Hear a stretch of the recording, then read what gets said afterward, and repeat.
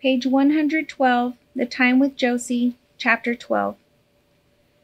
Half awake one morning, I heard the sound of a train. I looked up at the window to see a solid square of white, a storm, with pin dots of flakes covering everything. What I had heard was the roar of the wind coming down the valley. I padded out of bed and went downstairs to see what was happening outside the big window. The holly bushes on one side of the house were just a blur. The narrow silver of river and its snowy bank had disappeared in a mist of gray. A little cold, I hugged myself, watching that world. It was like a plastic globe in one of the houses I'd been in. When I shook it, snow fell, covering a bright green Christmas tree in its center. Don't touch that, Hollis. Put it down. I rolled a huge piece of wood onto that onto the bank fire, thinking I'd have to drag more in from the porch later. Henry looked up at me, meowing, waiting to go out. I reached for the knob, pulling, and when the door opened, a gust of wind blew a swirl of snow inside. Henry stared at me angrily. Not my fault, I told him, pushing the door closed again. He went back to the couch, skinny tail twitching. Sorry, cat. I ran my hand over the top of his head as I went into the kitchen to rummage through the cabinets. Ah, how far away the mustard woman was, locked in her house somewhere. How far away everyone was. I thought of the old man and Stephen and Izzy. They were just a few miles away, but those few miles were forever. Did Stephen like the snow, or were they so used to storms like this that they never paid attention to them? I wondered if they ever thought about me the way I did about them. I wondered how Stephen was now. I could hear the old man's voice in my ears. I closed my eyes. Don't think of that. Don't ever think of that terrible afternoon again. I took out the box of cocoa with marshmallows and boiled a pot of water on the stove, thinking of what I'd do today. Draw in front of that big window, I told myself. Figure out a way to shade in that soft line of trees, the gray ribbon of river. Charcoal would be wonderful for that. Maybe I'd even be able to use a chunk of burned wood from the fireplace. I'd done other pictures in the past few days and taped them up around the living room. A snowshoe rabbit with its tall, his tall ears, four deer nibbling at the bark of the evergreen, the bridge covered in clear ice. I'd done a few of Josie in the snow too, almost nothing but a few quick lines.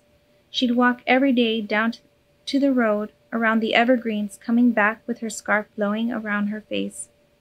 What would happen if I left those pictures when we had to leave next spring? What would the old man say when he found them? What would Izzy say? And Stephen? Spring. Could I call Beatrice then? She would have had months. What would happen to me? Who cared? I'd think of something, but I'd never leave the pictures. I'd take them with me in my backpack. Sitting at the table waiting for the cocoa to cool, I thought about Christmas. I'd, la- I'd lost track of the days. I flipped Izzy's wall calendar ahead to December, trying to figure it out. Figure it out. How long have we been here? Eight days? Nine? I counted back. The water was ready. I mixed the cocoa and took a tiny sip, feeling the heat of it, the steam on my upper lip. Today could be Christmas Eve. I stood there planning. When the snow stopped, I'd get myself outside and take some of the evergreen branches. There were so many trees we could fill rooms with them. We trimmed the mantel with great heaps of green and tucked Josie's ornaments in among the needles. Maybe we'd find a few pine cones too. We'd have a special dinner tomorrow night fruit cocktail and can- canned tuna, a feast, and popcorn. I wished I had a present for Josie. The only thing I could give her was a picture of herself. But the more I thought about it, the more I liked the idea. I do that today instead of drawing trees. I took another sip of cocoa. What about Josie with Beatrice at the movies in front of their popcorn machine? Both of them would be eating mouths full, arm in arm, smiling. Sleigh bells ring, Josie sang, coming into the kitchen behind me. I was just thinking that. I reached for another cup and poured in water for cocoa. She stopped to peer out the window. I've watched it snow in the ocean, she said. It melt, melts as it hits the water. She touched the glass with all five fingers. There's nothing like the ocean. I tried to think of something to change the look in her eyes. I was thinking we'd have a party, I told her, with your ornaments and tree branches from outside. She smiled, looking at the ceiling. We could listen to carols on the radio, she said. That's what Beatrice and I do every year. That and talk about when we were young. Where is Beatrice? Painting, I said. It's warm where she is. Josie shook her head. We always make almond cookies. We eat half and sell the other half at the movie. It would be nice if we had a radio. I popped two of our last pieces of bread into the toaster. And too bad we don't have a few eggs around. Or almond syrup, she said. Or butter, I said, and we both laughed. We'd have to ask Santa Claus, she said. He'd bring it all to us on his, she paused thinking, sleigh. She shook her head. That was a hundred years ago. Now he comes on a. She looked up at the ceiling. I laughed. A motorbike? One of those snow things. She nodded, laughing too. But how could we not have a radio? Everyone has a radio. I finished off my cocoa, one sweet marshmallow left in my mouth, trying to remember. Had there been a radio here? There was never television, I remembered that, but Josie was right. There must be a radio. I wandered around searching and finally found one on a shelf behind boxes of old jigsaw puzzles, the, cold, the old cord wrapped around it. All that time Henry was stalking me, a line between his eyes as if he were frowning. He really wanted to go out. I went to the door again and opened it a crack.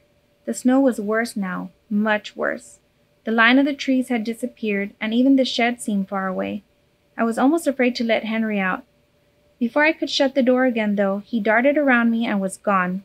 I stood there, shivering, trying to see where he was, and then he was back, streaking through the door straight across the living room, into the kitchen and onto Josie's lap. I sat I, I set up my drawing things in front of the window, beginning the rough lines that would turn into Josie. Josie was there on the other side of the room at the table, fiddling with the radio knob until she found a station with Christmas music. The announcer's voice, a lovely Christmas Eve morning. I'd hit the date straight on the head. The songs began, one after another. Adeste Fideles, Silent Night, Winter Wonderland, and and one I'd never heard before. Gather round the Christmas tree. I leaned over the paper in front of me so Josie wouldn't see what I was doing.